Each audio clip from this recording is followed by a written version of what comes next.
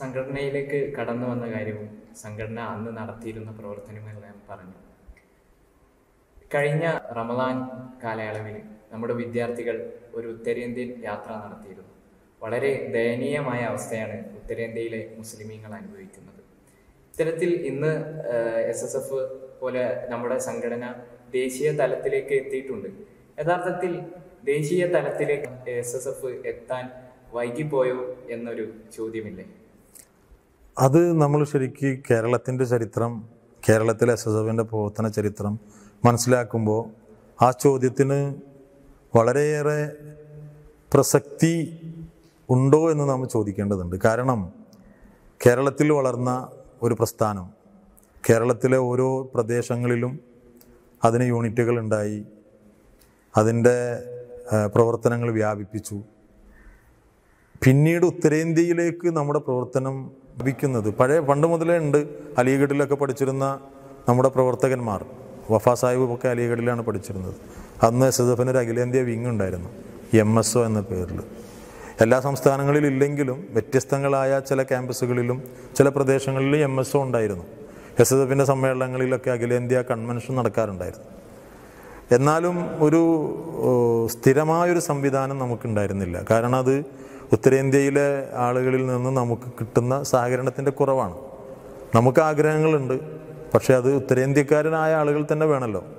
അങ്ങനെ ഇരിക്കുമ്പോഴാണ് ഷാഹുൽ ഹമീദ് ബാക്കവി അള്ളാഹു അദ്ദേഹത്തിന്റെ ദർജ ഉയർത്തട്ടെ. ഇസ്ലാമിക പ്രബോധന രംഗത്ത് വളരെയേറെ പ്രവർത്തനങ്ങൾ കാഴ്ചവെച്ച മഹാത്മാവാണ്. അദ്ദേഹം മദ്രസകളുടെ പ്രചരണാർത്ഥം ഉത്തരേന്ത്യ കേന്ദ്രീകരിച്ച് പ്രവർത്തിക്കുകയാണ്. ആ പ്രവർത്തനമാണ് സംഘടനയെ ദേശീയ തലത്തിലേക്ക് എത്തുന്നത്.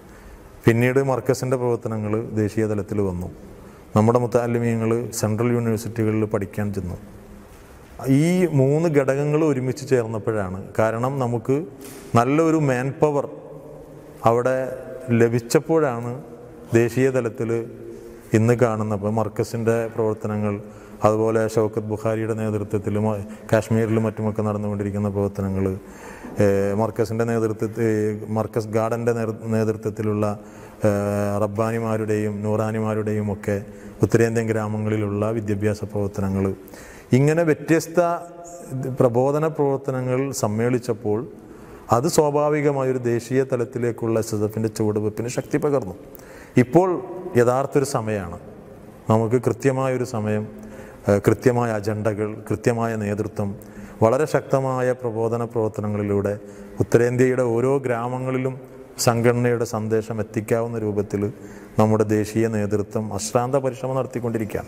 അപ്പോൾ നമ്മൾ കഴിഞ്ഞ് വൈകിപ്പോയോ എന്ന് ചോദിക്കുന്നതിനേക്കാൾ നല്ലത് ഇപ്പോൾ നമ്മുടെ പ്രവർത്തനം എത്തി നിൽക്കുന്ന ഈ മേഖല അത് അതിനു അതിനു വേണ്ട വെള്ളവും വളവും നൽകാൻ നമുക്ക് എത്രമാത്രം സാധിക്കുമെന്നുള്ളതാണ് നമ്മളിപ്പോൾ ചർച്ച ചെയ്യേണ്ടത്.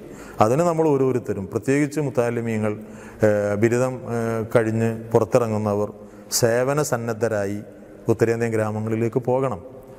അങ്ങനെ പോകുമ്പോൾ അതിനു വേണ്ട സൗകര്യങ്ങളും അതിനു വേണ്ട ചുറ്റുപാടുകളുമൊക്കെ എസ് എസ് എഫിന്റെ ദേശീയ നേതൃത്വവും ഉത്തരേന്ത്യയിലുള്ള നമ്മുടെ സ്ഥാപനങ്ങളുമൊക്കെ നിർവഹിക്കും.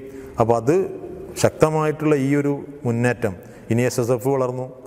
അടുത്തൊരു ഘട്ടം വരുമ്പോൾ എസ് എസ് എഫിന്റെ നേരെ ആ വളർന്ന പ്രവർത്തകന്മാർ എസ് വൈ എസിലേക്ക് വരും. അപ്പോൾ എസ് വൈ എസ് വളരും.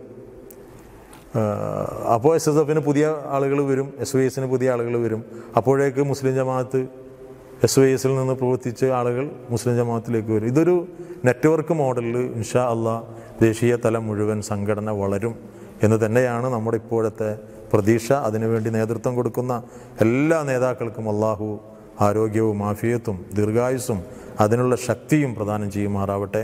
അതിന് പറ്റുന്ന എല്ലാ സഹായങ്ങളും നമ്മളെപ്പോലുള്ള ആളുകൾ ചെയ്തു കൊടുക്കുക എന്നുള്ളതാണ് ഈ സമയത്ത് നമുക്കൊക്കെ പറയാനുള്ളത്. തികച്ചും കാലാനുസൃതമായ പ്രവർത്തനങ്ങൾ തന്നെയാണ് സംഘടന ചെയ്തുകൊണ്ടിരിക്കുന്നത് എന്ന് പറഞ്ഞു എസ് എസ് എഫിന്റെ ഇരുപതാം വാർഷിക സ്വാഗത സംഘം സെക്രട്ടറിയൊക്കെ ആയിരുന്നു. ഞാൻ പറഞ്ഞു വന്നത് എസ് എസ് എഫിന്റെ പ്രധാനപ്പെട്ട ഒരു പ്രോഗ്രാമാണല്ലോ സാഹിത്യോത്സവം.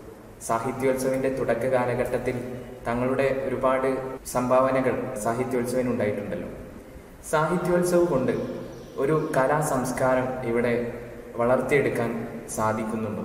എസ് എസ് എഫിന്റെ ഇരുപതാം വാർഷികത്തോടനുബന്ധിച്ച് വ്യത്യസ്ത പരിപാടികൾ ആസൂത്രണം ചെയ്തിരുന്നു. തളിപ്പറമ്പ് അൽമക്കറിൽ നടന്ന സമന്വയം എന്നൊരു ക്യാമ്പ് നടന്നിരുന്നു സ്റ്റേറ്റ് ക്യാമ്പ്.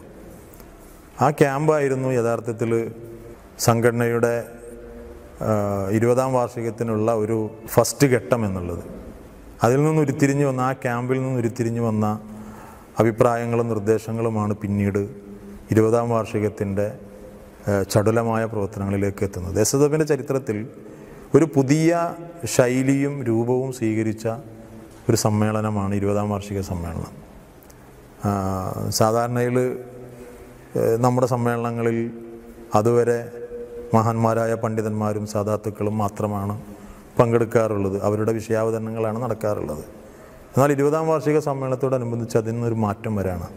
സഹോദര സമുദായാംഗങ്ങളായ ആളുകളെ സാഹിത്യകാരന്മാരെ അവരെയൊക്കെ നമ്മൾ ലക്ഷ്യം വെക്കണം അവരെയൊക്കെ നമ്മുടെ പരിപാടികളിൽ പങ്കെടുപ്പിക്കണം എന്നൊരു ചിന്ത വരികയും അങ്ങനെ വ്യത്യസ്തമായ പരിപാടികൾ ആവിഷ്കരിക്കാനുള്ള നടപടികൾ ആവിഷ്കരിക്കും. അപ്പോഴാണ് സാഹിത്യോത്സവം. സാഹിത്യോത്സവം എന്താണെന്ന് ഒരു സമൂഹത്തിന്റെ വളർച്ചയുടെ പിന്നിൽ. ഇപ്പോൾ കഴിഞ്ഞുപോയ സമൂഹങ്ങളുടെ ചരിത്രം പഠിക്കുമ്പോൾ നമുക്കറിയാം അവർ ഈ ലോകത്ത് ഈ നാടിന് അല്ലെങ്കിൽ ചരിത്രത്തിന് നൽകിയ സംഭാവനകൾ. സാഹിത്യത്തിൽ ശാസ്ത്രത്തിൽ കലയിൽ. അതാണ് ആ സമൂഹത്തെ ജീവിപ്പിക്കുന്നത്. അതോടൊപ്പം തന്നെ പ്രബോധന പ്രവർത്തനങ്ങൾക്ക് കലയും സാഹിത്യവും ഒരുപാട് സംഭാവനകൾ അർപ്പിച്ചിട്ടുണ്ട്. ചില സ്ഥലങ്ങളിൽ അറബി കാലിഗ്രാഫി കണ്ടിട്ട് ഇസ്ലാമതം സ്വീകരിക്കുന്ന ആളുകളുണ്ട്. യൂറോപ്പിലൊക്കെ പോയാൽ അതിന്റെ സൗന്ദര്യം. അത് ഞാൻ കഴിഞ്ഞ ഇതിൽ പറഞ്ഞല്ലോ ചിലത് ആളുകൾക്ക് ഹിദായത്ത് എവിടെ നിന്നാണ് ലഭിക്കാമെന്ന് അറിഞ്ഞുകൂടാ. സുന്നത്ത് ജമാഅത്തിന്റെ പാതയിൽ ഇസ്ലാമികമായ സാംസ്കാരിക തനിമയിൽ തന്നെ അവർ കൊണ്ടുവരിക എന്നൊരു ലക്ഷ്യവും അതോടൊപ്പം പ്രബോധന പ്രവർത്തനങ്ങളുടെ കാലോചിതമായ മാറ്റവും ഇതൊക്കെയാണ് സാഹിത്യോത്സവം കൊണ്ട് ലക്ഷ്യം വെച്ചത്. ഇരുപതാം വാർഷിക സമ്മേളനം എന്തുകൊണ്ടും അതുപോലെ തന്നെ അന്ന് സുന്നി ബാലസംഘം അന്ന് പേരിൽ മാത്രം അങ്ങനെ യൂണിറ്റ് വ്യാപകമായിട്ടൊന്നും ഉണ്ടായിരുന്നില്ല. പക്ഷേ ഇരുപതാം വാർഷിക സമ്മേളനത്തിന്റെ ഭാഗമായിട്ട് ബാലസഞ്ചയം എന്നൊരു പരിപാടി മഞ്ചേരിയിൽ വെച്ച് നടന്നു. ചെറിയ മക്കളുടെ ബലൂണുകളും മറ്റുമൊക്കെ പിടിച്ചുള്ള സ്കൗട്ടും ഒക്കെ ആയിട്ടുള്ള വലിയ മനോഹരമായ ഒരു കേരള ചരിത്രത്തിൽ തന്നെ അങ്ങനെ ഒരു കുട്ടിപ്പട്ടാളങ്ങളുടെ ഒരു പരിപാടി നടന്നത് ആദ്യമായിരിക്കും. മഞ്ചേരിയിൽ വെച്ചാണ് ആ ബാലസഞ്ചയം നടക്കുന്നത്. അങ്ങനെ വ്യത്യസ്തമായ പരിപാടികൾ സമ്മേളനത്തിന്റെ പ്രചരണാർത്ഥം തന്നെ ഹൈവേ മാർച്ച് എന്ന പേരിൽ ഒരു പ്രചരണ രീതി അത് വ്യത്യസ്തമായ പ്രചരണ രീതി ഇസ്ലാം വിശ്വമോചനത്തിന് എന്നായിരുന്നു അന്നത്തെ പ്രമേയം. ആ പ്രമേയം ഫോക്കസ് ചെയ്ത് വലിയ രൂപത്തിൽ കേരളത്തിൽ അങ്ങോളം ഇങ്ങോളം ചർച്ചകൾ പരിപാടികളൊക്കെ നടത്താൻ സാധിച്ചു. കുൽദീപ് നെയ്യാർ പോലെയുള്ള ആളുകളാണ് അന്ന് സമ്മേളനത്തിൽ മുഖ്യാതിഥികളായിട്ട് പങ്കെടുത്തത്. ഇപ്പോൾ ഓർത്തു പോകുന്നുണ്ട് എസ് എഫിന്റെ സമ്മേളനം ഇരുപതാം വാർഷികത്തിന്റെ സമാപന സമ്മേളനത്തോടനുബന്ധിച്ച് പ്രകടനം നടന്നുകൊണ്ടിരിക്കുകയാണ്. അപ്പോൾ നമ്മൾ സ്റ്റേജ് പ്രകടന പ്രകടനം നഗരിയിലേക്ക് വരുന്ന സമയത്ത് മുദ്രാവാക്യം വിളിച്ചു കൊടുക്കേണ്ട ചുമതല നമുക്കായിരുന്നു. ഞാനും നാസറുദ്ദീൻ കോട്ടയം പി കെ അബ്ദുറഹ്മാൻ മാഷ് ഇവരൊക്കെ കൂടി സ്റ്റേജിൽ മുദ്രാവാക്യം വിളിച്ചു കൊടുക്കുന്ന സമയത്താണ് നമ്മൾ തലകറങ്ങി വീഴുന്നത്. ആ വീഡിയോ ഒക്കെ പലരും കണ്ട കണ്ടവരുണ്ട്. ഇപ്പോഴും പലരും ഇപ്പോൾ കഴിഞ്ഞ എസ് സ്ഥാപക ദിനത്തിൽ ബാബാദാരിമി ആ സംഭവം അനുസ്മരിച്ചൊരു അദ്ദേഹം സംഘടനാ സന്ദേശം കൊടുത്ത കൂട്ടത്തിൽ അത് അനുസ്മരിച്ചിരുന്നു അപ്പോൾ അന്ന് നമ്മുടെ പ്രവർത്തനം എന്ന് പറഞ്ഞാൽ അത്രയും ശരീരവും മനസ്സും ഒക്കെ സംഘടനയ്ക്ക് വേണ്ടി സമർപ്പിച്ചുകൊണ്ടുള്ള പ്രവർത്തനങ്ങളായിരുന്നു. അപ്പോൾ വളരെ മനോഹരമായ ഒരു ആവിഷ്കാരമാണ് യഥാർത്ഥത്തിൽ ഇരുപതാം വാർഷികത്തിന്റെ സമ്മേളനത്തിന്റെ ഓരോ ഘട്ടങ്ങളും. അന്ന് പ്രോഗ്രാം കമ്മിറ്റിയുടെ കൺവീനറായിരുന്നത് അബ്ദുള്ള മുസ്ലിയാർ ചെറൂരായിരുന്നു അദ്ദേഹം തന്നെയായിരുന്നു മലപ്പുറത്ത് നടന്ന മലപ്പുറം ജില്ല എസ് എസ് എഫ് ധർമ്മപുരിയിൽ നടന്ന സമ്മേളനത്തിന്റെ പ്രോഗ്രാം കമ്മിറ്റി കൺവീനറായിരുന്നത് പി കെ അബ്ദുറഹ്മാൻ മാഷായിരുന്നു ആ, അന്ന് സംഘടനയുടെ സമ്മേളന സ്വാഗത സംഘത്തിന് കൺവീനർ അങ്ങനെ മൊത്തത്തിൽ വളരെ മനോഹരമായ ഒരു ആവിഷ്കാരമായിരുന്നു ഇരുപതാം വാർഷികം. അതിനുശേഷം പിന്നെ എസ് എസ് എഫിന്റെ ശൈലി എസ് എസ് എഫിന്റെ പ്രവർത്തന മേഖലകൾ ഇതെല്ലാം മാറ്റത്തിന് വിധേയമായി. ഇപ്പോൾ കേരളത്തിലെ ഏറ്റവും വലിയ ധാർമ്മിക വിദ്യാർത്ഥി പ്രസ്ഥാനമായി വ്യത്യസ്ത വിഭാഗങ്ങളിലായി മുത്താലിമീങ്ങൾക്ക് അതുപോലെ ഹയർ സെക്കൻഡറി പ്രൊഫഷണൽ കോളേജ് വിദ്യാർത്ഥികൾ തുടങ്ങി എല്ലാ മേഖലയിലും എസ് എസ് എഫിന്റെ ശബ്ദം എത്തി എന്ന് മാത്രമല്ല ഗൾഫ് ഘടകങ്ങൾ സാഹിത്യോത്സവിന്റെ ഗൾഫ് പതിപ്പുകൾ തന്നെ വളരെ എങ്ങനെയാണോ കേരളത്തിൽ സാഹിത്യോത്സവം നടക്കുന്നത് അതേ രൂപത്തിൽ ആർ സിയുടെ നേതൃത്വത്തിൽ ഗൾഫ് നാടുകളിൽ മനോഹരമായി സാഹിത്യോത്സവം നടക്കുകയാണ്.